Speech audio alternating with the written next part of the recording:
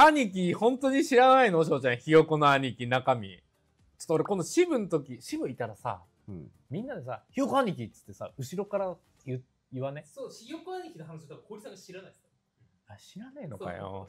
あんなに、あんなに話題になったのに、ひよこ兄貴の話、あ、ロンだった、大井さんが。ロン。あ、まあいいや。知らないの、ひよこ兄貴。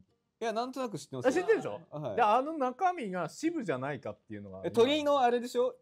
スそうーアンコ、スーアンコ、あごつも。あ、そうそう、あの、ローソンとキルソンで、超面白かった。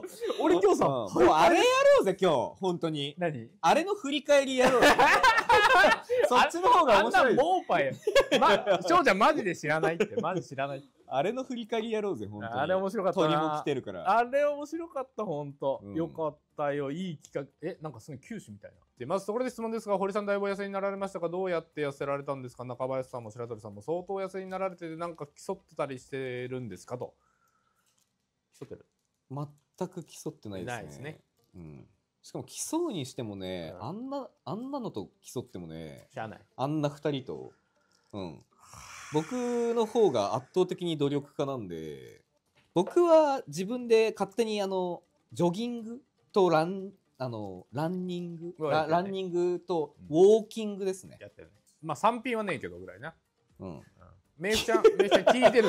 まだだいまだたのいたのかよ 意外と暇やね、翔ちゃん。意外とじゃなくて、いっつもいるんだよ、本当に。そうなんだ。ファンなんだから、俺の。